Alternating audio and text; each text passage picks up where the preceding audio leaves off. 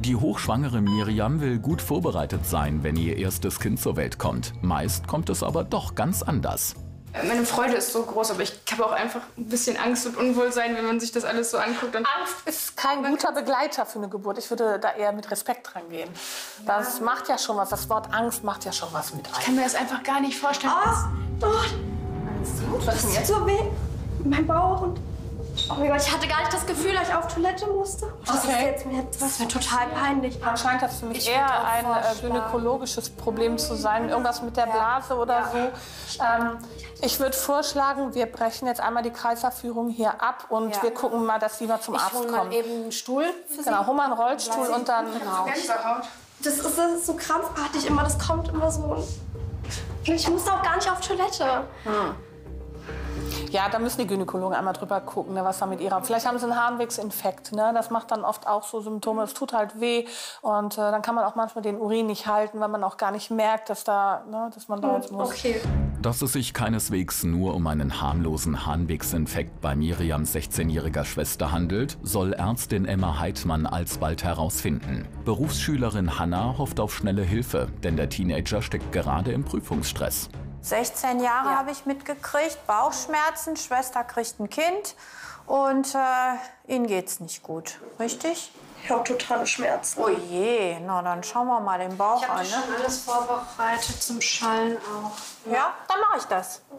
Ich meine, für mich war schon relativ komisch im Kreissaal, dass sie dann plötzlich Wasser gelassen hat. Also ich habe mir da schon schon einiges ausgemalt.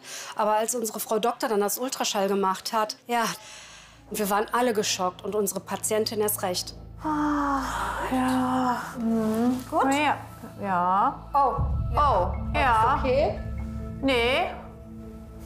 Was ist denn los? So, jetzt nehmen Sie erstmal den Mundschutz ab. Ich hoffe, Sie sitzen gut oder liegen gut.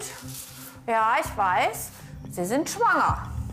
Was? Ja, ich habe nämlich ein Baby gefunden. Nein, das kann nicht sein. Doch, ich habe Nein, ein ich verhüte. Das ist nicht, mö- das ist nicht möglich. Ganz eindeutig schwanger. Das ist aber nicht gesehen. möglich. Ja. Anna, wie, Wie, hast, wie kann sowas sein? merkst du, fühlst du das nicht? Also das Tränen? Nein, nein. Keine Bewegung, nichts gemerkt. Nein, ich dachte, das wäre so Stress, wegen, weil ich Prüfungen schreibe, viele und dann. Wir haben ein Baby gefunden, ja. Und dieses setzen? Ich Baby, Ja, bitte. so, also das Baby will raus. Das heißt, Sie sind nicht nur Mutter oder werdende Mutter, sondern äh, mehr oder minder schneller als Ihre Schwester. Das, was wir erlebt haben oder erleben, ist Fruchtwasser, ja. Die Schmerzen sind Wehen und sie sind ein Fall für den Kreissaal. Wow. Wow, ne? Ja, Ich kann auch jetzt nicht kein. Kind kriegen. Das ist. Ich bin 16, das ist doch nicht möglich.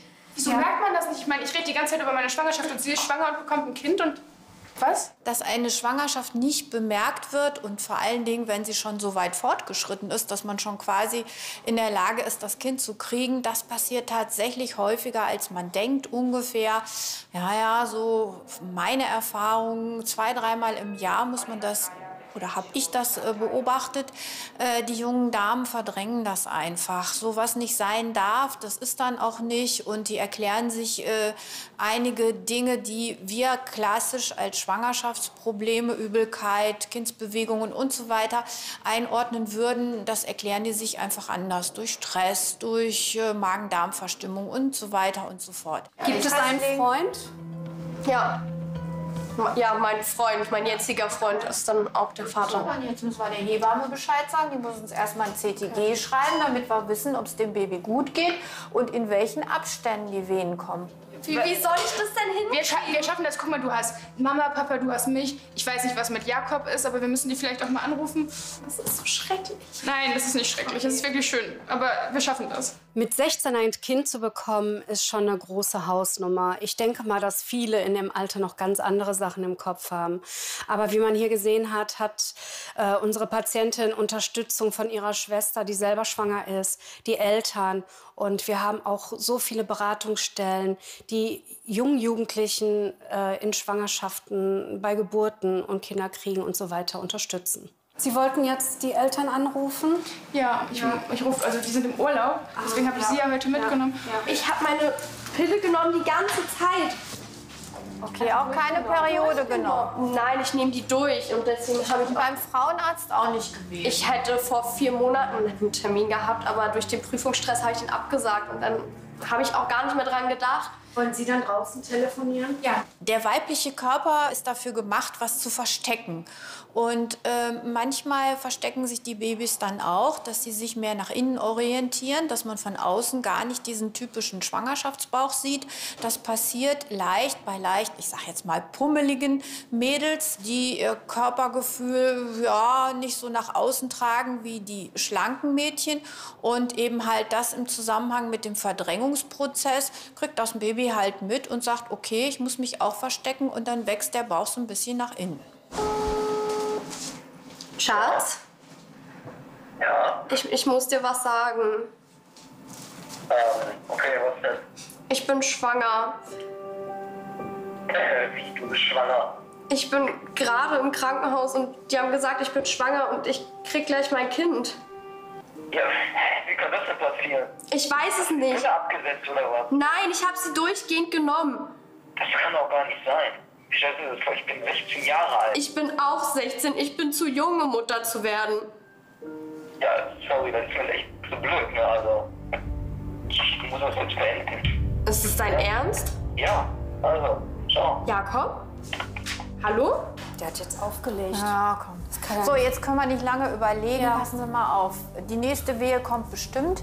Wir gehen jetzt einmal im Kreis. Halt. Ich will unbedingt wissen, ob es dem Baby gut geht. Ja. Wir haben ja nichts. Wir haben keine Blutgruppe. Wir haben keinen Mutterpass. Soll ich Sie fahren oder Können Sie denn bis zum Gang noch laufen? Ja, ne? Ich sag ja, die nächste Wehe kommt bestimmt. Dann einmal Und wir die haben Taschen jetzt. Das sind menschliche Tragödien, aber wir wollen jetzt nicht noch eine medizinische Tragödie dazu haben. Doch auch die medizinische Tragödie soll der 16-jährigen Teenie-Mutter nicht erspart bleiben. Die von Wehenschmerzen geplagte Schülerin muss nämlich eine weitere Hiobsbotschaft verkraften und die hat mit Hannas ungeborenem Kind zu tun. Hanna, ich habe unsere Eltern erreicht. Und die brechen den Urlaub ab und kommen jetzt so bald wie möglich zurück. Also, du bist nicht alleine. Wir, wir sind alle für dich da und wir haben dich alle ganz doll lieb. Hanna, du kriegst das schon hin. Ne? Ja, wir müssen gleich mal gucken, vielleicht können wir auch eine PDA legen, ne? Dann sind die Schmerzen besser, ne? Okay?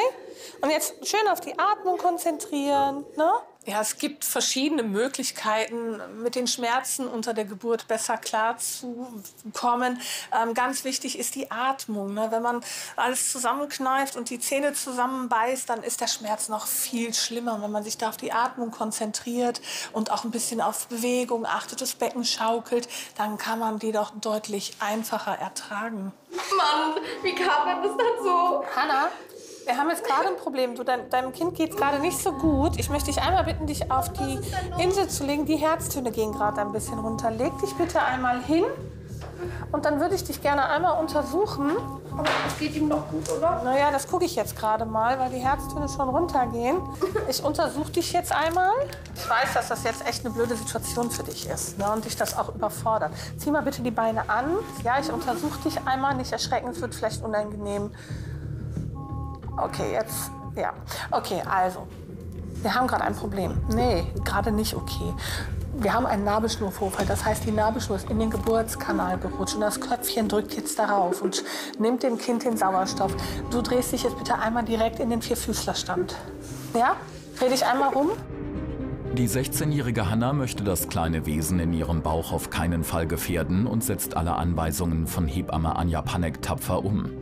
Die erfahrene Geburtshelferin erklärt dem Mädchen, warum insbesondere diese Stellung dem Baby hilft. So, wir nehmen jetzt gerade der Nabelschnur den Druck weg durch die Position. Ne? Dann versuch dich bitte auf die Atmung zu konzentrieren, bis die Ärztin da ist. Ach super, da bist du ja schon. Der Druck ist jetzt weg. Kind erholt sich gerade wieder ein bisschen, aber gut. Ich Okay, kurz ne? Druckolyse direkt, Sehr ich gut. mal. Die Nabelschnur ist schon so ein kleines Wunderwerk der Natur. Sie verseucht das Baby mit Nährstoffen, äh, hält Schadstoffe fern äh, und verseucht das Kind mit Sauerstoff. Äh, kommt sie vor den Kindskopf bei der Entbindung gibt es natürlich riesige Probleme. Das Kind wird unterverseucht, dem Kind geht schlecht und dann muss man das Kind aus dieser Notlage befreien. Da hilft dann einfach nur ein Notkaiserschnitt. Jetzt müssen wir das Kind rausholen. Ja, es gibt keine Alternative. Was willst du hier? Du bist der letzte Mensch, den ich hier sehen will. jetzt bleib Du, mal. du hast gerade so reagiert und ich will nicht, dass du hier bist. Ich habe keine Ahnung. Jakob ist hier und ich schick den jetzt weg. Geh weg! Ja, es tut mir leid. Nein, Ich würde vorschlagen, Jetzt Sie gehen mal raus. raus. Wir haben hier eine echte Notsituation. Es geht Bitte. jetzt hier um ein Baby, das wir da heil rausholen müssen. Und bitte gehen wir das raus. wirst du nicht sehen. So, raus, wir raus, gehen raus. raus. Was braucht ihr? Holst du einmal die Trage, dass wir einen OP können. Ja? Jetzt gilt es, dem Baby der Teenager gesund auf die Welt zu verhelfen. Nach dem Notkaiserschnitt soll sich zudem aufklären, warum die 16-jährige Hannah trotz konsequenter Verhütung schwanger wurde. Dies könnte nämlich auch anderen Frauen passiert sein und der Grund dafür ist kriminell. Wie sie schläft. Ich muss mich auch nochmal wirklich herzlichst entschuldigen bei dir. Ne? Also, ich hoffe, du bist mir nicht allzu böse. Wir, wir kriegen das irgendwie hin. Mhm, das glaube ich auch. So, ich wollte einfach nur Visite machen. Für unsere Blitzmama. Ach, Anja, du bist ja da. Sorry, genau. Wie geht's Ihnen? Gut. Ja? Ja, bisschen durcheinander immer noch. das Das ist schon klasse komisch. Ja, super. So, Blitzmama, ne? Kommt man mit Bauchschmerzen in die Klinik, zack, ist man Mutter. Äh, und wie kann sowas passieren? Haben Sie eine Erklärung? Ich weiß nicht, ich habe meine Pille immer durchgenommen. Ich hatte sie im Türkei-Urlaub letztens, äh, vor ein paar Wochen hatte ich sie vergessen, also ein paar Monate eher schon. Und da hatte ich sie mir dann in der Apotheke rezeptfrei geholt. Miriam, kannst du die mal rausholen? die ist in meiner Die Pille ist ein sehr sicheres Verhütungsmittel, wenn man sie regelmäßig einnimmt. Da kommen nämlich so einige Dinge ins Spiel, die man auch völlig unterschätzt. Viele Schwangere vergessen ihre Pille.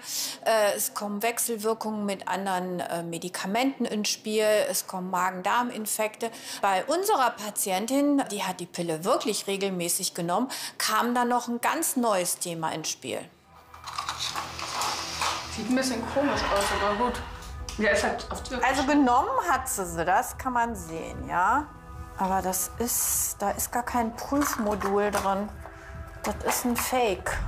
Aber ich, ich wusste das ja nicht. Also ich Das dachte, ist das ist überall normal. Also brav genommen, aber da sind diese Kontrollmarker nicht drauf. Also das ist ein Riesenproblem mit gefälschten Medikamenten. Man denkt, man nimmt einen Wirkstoff, dabei ist da, weiß ich nicht, Smarties, Zuckerperlen, ja. Das ist Zuckerwasser gewesen. Also ist Ja. das der Grund. Das ist der Grund, ja. Das ist ein Riesenproblem. Da muss man höllisch aufpassen. Ne? Also das heißt natürlich nicht, dass alle Medikamente, wir wollen jetzt nicht hier irgendwie global irgendwie was erzählen, dass alle Medikamente schlecht sind, aber diese Pillenpackung ist ein Fake. Gefälschte Medikamente sind ein Riesenproblem. Äh, der Käufer kann das nicht äh, abchecken, ob die Medikamente echt sind. In der EU enthält jedes verschreibungspflichtige Medikament einen QR-Code, wo man eben halt gucken kann, wo es herkommt und die ganzen Vertriebswege. Aber leider in anderen Ländern sind die Kontrollen nicht so scharf und solange damit noch sehr viel Geld verdient wird, äh, kommt es immer wieder vor, dass Fakes auf den Markt geraten und eventuell die Patienten schädigen können. Da sollte man sehr, sehr vorsichtig sein und sich wirklich äh, ganz sicher sein, dass man da keinen Blödsinn macht. Ich nehme das aber mal mit, weil wir nehmen das sehr ernst. Vielleicht kriegen wir da mehr zu raus, dass andere nicht äh, da auch noch drauf reinfallen. Ne? Okay, danke schön. Aber ich sehe schon, Anja kümmert sich. Genau, wir legen die kleine Maus jetzt mal an. Oder möchtest du stillen? Ja. Ja? und Dann ich gehe wir weiter. Visite machen. Die 16-jährige Hannah ist von ihren Muttergefühlen überwältigt und auch Kindsvater Jakob hat sich schon in seine kleine Tochter verliebt. Den Teenager-Eltern wird von vielen Seiten Unterstützung zuteil, so dass sich die beiden gut in ihre Elternrolle einfinden und sie auch ihre Ausbildung beenden können.